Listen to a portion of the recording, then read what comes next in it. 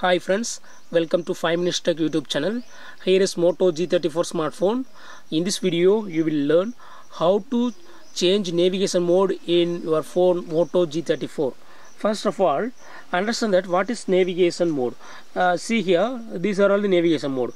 Home button, this is uh, recent tab button, this is back button. So uh, this mode can be customized.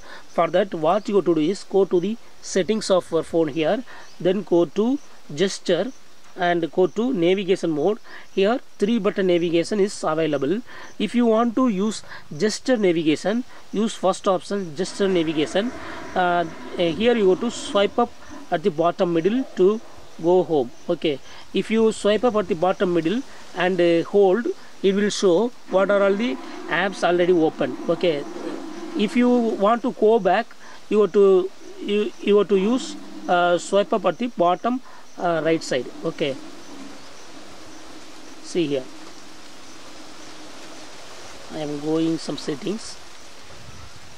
Uh, so to go back uh, you go to you go to you swipe from the uh, right right to left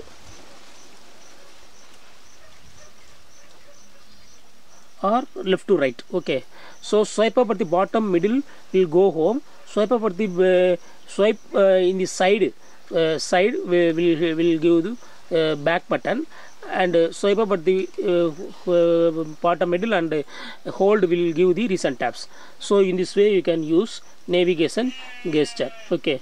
If you want to set to the button mode only then uh, you go to use uh, three button navigation and uh, th uh, this navigation is appear here. So in this way you can easily uh, uh, easily customize navigation mode navigation buttons in your phone.